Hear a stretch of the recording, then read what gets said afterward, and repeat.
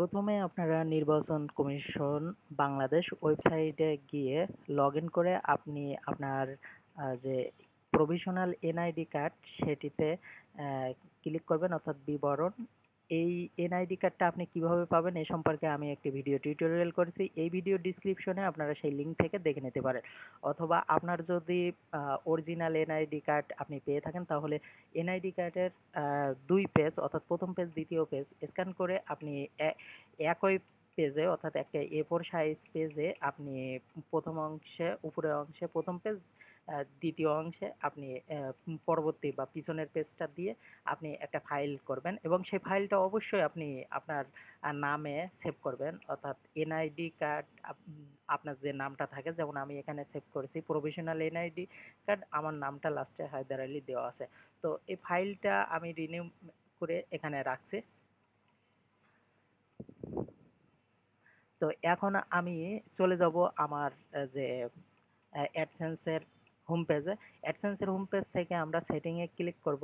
সেটিংয়ে ক্লিক করার পরে এখানে যে অ্যাকাউন্ট বা অ্যাড্রেস ভেরিফিকেশন এই অপশনটিতে ক্লিক করব। ক্লিক করার পরে আপনি এখানে দেখতে পারবেন ভেরিফাই অ্যাড্রেস ভেরিফাই অ্যাড্রেস দেখার পর পর আপনারা এখানে এই যে দিস ফর্ম অর্থাৎ আমার এই অ্যাকাউন্ট থেকে আমি গত তিনবারে আমি পিন ভেরিফিকেশনের জন্য অ্যাপ্লাই করেছিলাম, কিন্তু দুর্ভাগ্যবশত আমার অ্যাড্রেসে পিন আসেনি। তো আমি সেখানে আমার নাম লিখলাম, আমার অ্যাড্রেস লিখলাম, এরপরে আমার যেটা দরকার হবে অ্যাকাউন্ট ইনফরমেশনে আমার পাবলিক পাবলিশার আইডি তো আপনারা এটা সেটিংয়ের ভিতরে অ্যাকাউন্ট ইনফরমেশনে প্রথমে পাবেন পাবলিশার আইডি পিইউবি থেকে লাস্ট পর্যন্ত সংখ্যাটা আপনারা কপি করে নেবেন। তো আমি অলরেডি কপি করে নিছি কপি করার নেওয়ার পরে এবার যে নিচে দেখছেন ইউর অ্যাডসেন্স পাবলিকেশন আইডি এখানে আপনারা পেস্ট করবেন। পেস্ট করার পরে নিচে দেখবেন যে সাবমিট অ্যান্ড অ্যাটাচমেন্ট তো এখানে আপনি আপনার এনআইডি কার্ডের যে সফট কপিটা আপনি পিডিএফ অথবা জেপিজি করে রাখছেন, সেই ফাইলটা এখানে সিলেক্ট করবেন। তো আমি যে প্রভিশনাল এনআইডি কার্ডের যে পিডিএফ ফাইলটা আমি আমার ডেস্কটপে সেভ করছিলাম, সেটি এখান থেকে আমি এখন সিলেক্ট করছি। সিলেক্ট করার পরে আমি ওপেন করব। এখানে যে ওপেন আছে ওপেন বাটনে আমি ক্লিক করছি। ক্লিক করার পরে আমি এখানে যে সাবমিট আছে সাবমিট বাটনে ক্লিক করব। সাবমিট বাটনে ক্লিক করার পরে this form has submit by address successfully এরকম ধরনের একটা মেসেজ এখানে আসছে।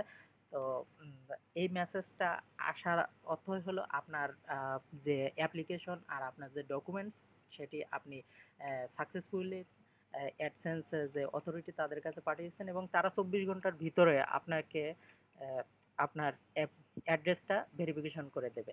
তো আমরা এখন দেখব যে আমাদের কে ইমেইলে সাধারণত এটি হয় যে দশ থেকে পনেরো মিনিটের ভিতরে আপনার যে অ্যাডসেন্সটা অ্যাডসেন্সটা আর কি ভেরিফাই হয়ে যায়। এখানে আমরা দেখছিলাম অ্যাকাউন্ট ইনফরমেশনে অ্যাড্রেস ভেরিফিকেশন অপশন তো আমরা এই আবেদনটা করার সাথে সাথে আর অ্যাড্রেস ভেরিফিকেশন অপশনটা থাকবে না। অর্থাৎ আপনি এখন নিশ্চিত থাকতে পারবেন যে আপনার অ্যাড্রেস ভেরিফিকেশন হয়ে গেছেন এবং উপরে লাল কালিতে আমার আগে দুইটা নোটিফিকেশন ছিল, অর্থাৎ ইউর পেমেন্ট ইজ হোল্ড তো সেই অপশনটা চলে গেছে। অর্থাৎ এই, এখন আমার সেকেন্ড যে নোটিফিকেশনটা ছিল সেটি। তো আমরা এখন চেক করব আমাদের যে জিমেইল অর্থাৎ আমাদেরকে মেইল করে যেটা কনফার্মেশন করছে সেটি।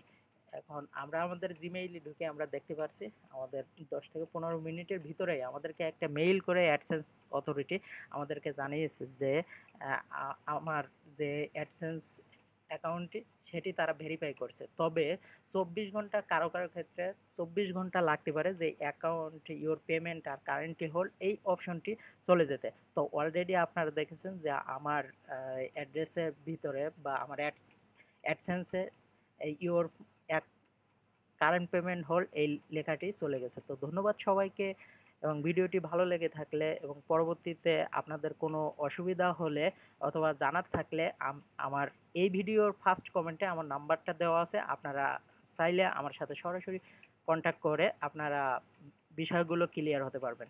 ধন্যবাদ সবাইকে।